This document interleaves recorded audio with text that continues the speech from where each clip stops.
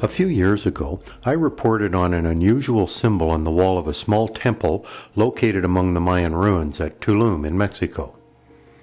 At the time, I speculated that the symbol was related to observations of the night sky, observations that may have been used by Mayan priests to predict agricultural seasons.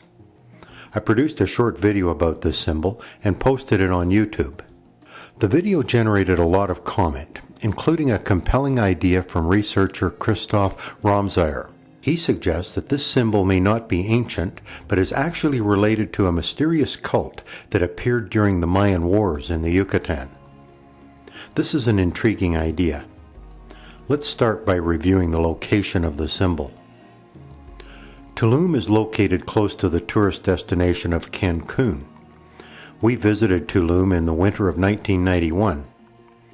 A relatively new tourist attraction, the archaeological site at Tulum was already attracting busloads of tourists. There are a number of large temples and structures, but the symbol we are interested in is located in one of the smallest structures on the site. This small flat roofed building.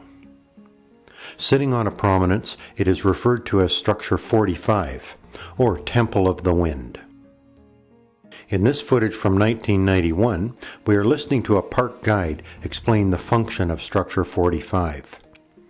He told us the temple was used for special rituals, some involving the burning of sacred objects on an altar. The door to this small temple faces north, the opening is only one meter high. You have to stoop to enter. Once inside, it took a minute for my eyes to adjust to the reduced light.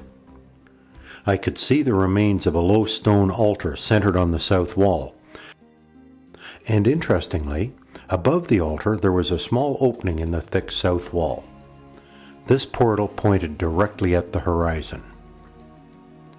Moving back outside, I walked around to the south wall and looked back through the opening. When my eyes adjusted to the low light, I could make out a faint geometric shape on the lintel above the doorway. This symbol aligned perfectly with the hole through the wall. Back inside, there was enough light coming through the door to allow the camera to capture the symbol.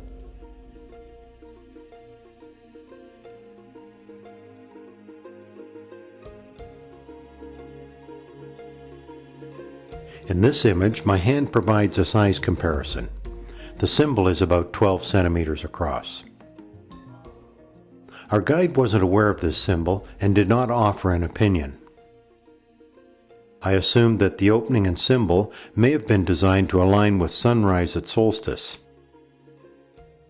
But I returned the next day with a compass and determined that the rising sun would never align with that opening. My best guess now was that this opening played a role in the Mayan calendar marking the passing of time as constellations rotated through the viewing window. You can see a more detailed version of this story in my original video. Just search for A Mayan Mystery in YouTube. This brings us to an interesting interpretation of the symbol. Anyone familiar with Mayan symbols and sculpture will recognize that this symbol is very different from the traditional forms. Christoph points out that the triangle is rare in Mayan characters. It is possible that this symbol may represent a synthesis of Christian and Mayan symbols, a synthesis that involved a violent conflict and the appearance of a mystical apparition. In 1847, the Maya of the Yucatan rose against their European rulers, a conflict that went on for over 50 years. At the outbreak of the conflict, Jose Barrera, a Mayan leader, stopped with his troops at a cenote. Close by, he noticed a cross carved into a sacred ceiba tree. Miraculously, the cross spoke to one of the priests traveling with Barrera. The speaking cross gave good advice about how to proceed with the war. This was the voice of God. Word of this miracle spread quickly, and the cult of the Speaking Cross was born. A number of communities in the Yucatan created Speaking Cross shrines, sacred places where advice could be sought from the Speaking Cross. It turns out there is a significant connection between the cult of the Speaking Cross and Tulum. In 1889, British surveyor William Miller traveled from British Honduras into the Yucatan. From the notes of this expedition, he leaves us this. Near Tulum is a particular cross, from which the Indians say the voice of God issues. And on all grave occasions this cross is consulted, and they act in accordance with the directions given by the voice which issues from the cross. All the chiefs of the nation are appointed by it.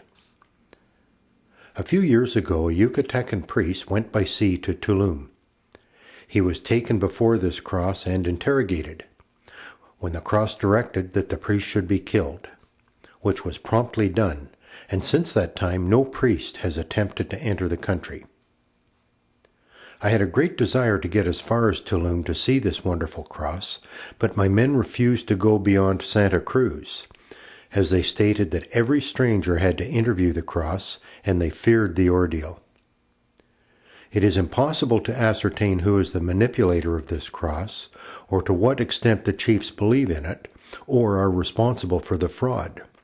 But I am sure that the majority of the Indians implicitly believe that the voice which issues from the cross is the voice of God.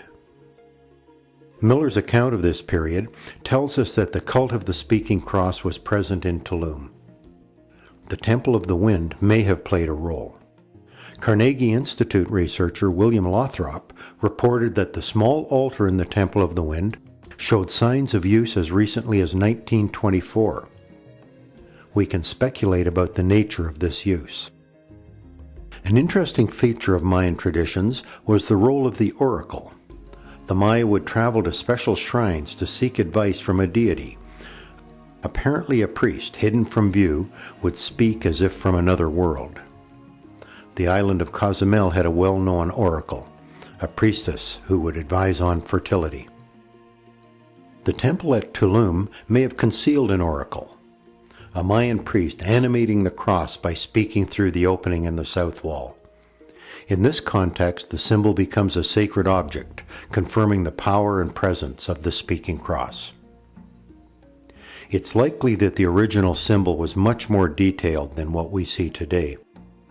Christoph Ramseyer studied the images of the symbol and attempted to reconstruct it.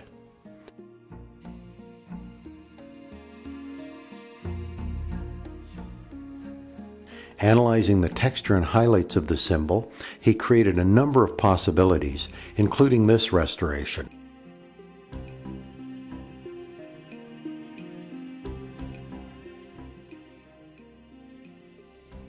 We are, of course, speculating about the origins of this symbol.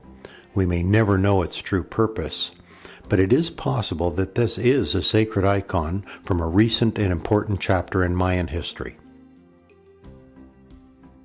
If you are interested in doing some research of your own, you can actually visit the Temple of the Wind. A great excuse to visit the Yucatan and the beaches of Cancun. Tulum is close to all the attractions and resorts of the area. I've assembled more images and information related to this story at this site. To see our other science and technology related activities, visit our main site, hylaroad.com. Follow the projects link.